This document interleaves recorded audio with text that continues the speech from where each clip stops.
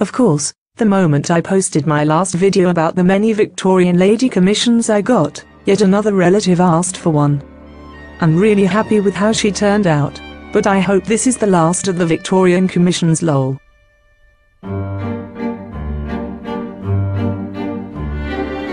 She wanted the luna moth Victorian lady. With her dress featuring the different phases of the moon.